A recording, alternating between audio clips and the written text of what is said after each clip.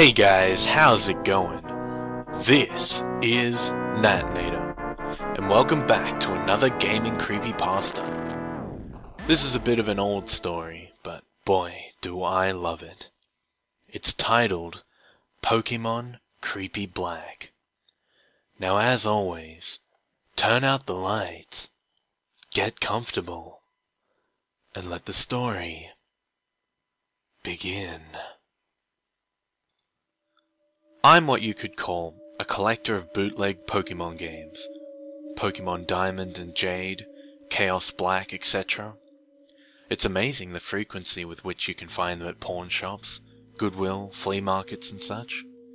They're generally fun, even if they are unplayable, which they often are. The mistranslations and poor quality makes them unintentionally humorous. I've been able to find most of the ones that I've played online, but there's one that I haven't seen any mention of. I bought it at a flea market about five years ago. Here's a picture of the cartridge, in case anyone recognizes it. Unfortunately, when I moved two years ago, I lost the game, so I can't provide you with any screen caps. I'm sorry. The game started with the familiar Nidorino and Gengar intro of Red and Blue version. However, the press start screen had been altered. Red was there, but the Pokemon did not cycle through. It also said black version under the Pokemon logo. Upon selecting new game, the game started the Professor Oak speech, and it quickly became evident that the game was essentially Pokemon Red version. After selecting your starter, if you looked at your Pokemon, you had, in addition to Bulbasaur, Charmander, or Squirtle, another Pokemon. Ghost. The Pokemon was level 1. It had the sprite of the ghosts that are encountered in Lavender Tower before obtaining the Silph Scope. It had one attack, Curse. I know that there is a real move named Curse, but the attack did not exist in Generation 1, so it appears it was hacked in. Defending Pokemon were unable to attack Ghost, it would only say that they were too scared to move. When the move Curse was used in battle, the screen would cut to black. The cry of the defending Pokemon would be heard, but it was distorted, played at a much lower pitch than normal. The battle screen would reappear, and the defending Pokemon would be gone.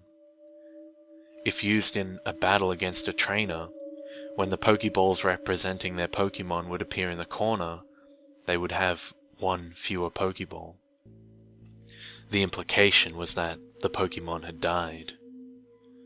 What's even stranger is that after defeating a trainer and seeing Red receive $200 for winning, the battle commands would appear again. If you selected Run, the battle would end as it normally does. You could also select Curse. If you did, upon returning to the overworld, the trainer's sprite would be gone. After leaving and re-entering the area, the spot where the trainer had been would be replaced with a tombstone like the ones at Lavender Tower. The move Curse was not usable in all instances.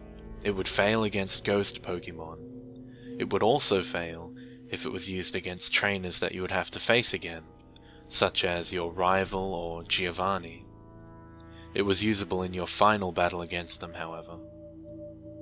I figured this was the gimmick of the game, allowing you to use the previously uncapturable ghosts, and because Curse made the game so easy, I essentially used it throughout the whole adventure. The game changed quite a bit after defeating the Elite Four. After viewing the Hall of Fame, which consisted of Ghost and a couple of very underleveled Pokemon, the screen cut to black. A box appeared with the words, Many years later. It then cut to Lavender Tower. An old man was standing, looking at tombstones. You then realize this man was your character. The man moved at only half of your normal walking speed. You no longer had any Pokemon with you, not even Ghost, who up to this point had been impossible to remove from your party through depositing in the PC. The overworld was entirely empty. There were no people at all.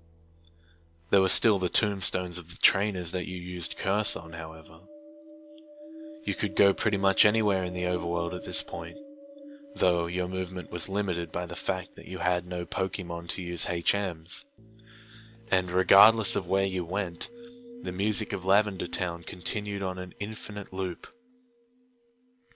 After wandering for a while, I found that if you go through Diglett's cave, one of the cuttable bushes that normally blocks the path on the other side is no longer there allowing you to advance and return to Pallet Town.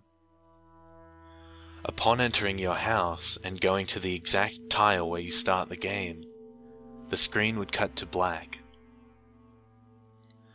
Then a sprite of a Caterpie appeared.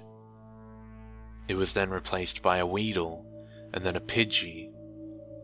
I soon realized, as the Pokemon progressed from Rattata to Blastoise, that these were all of the Pokemon that I had used Curse on.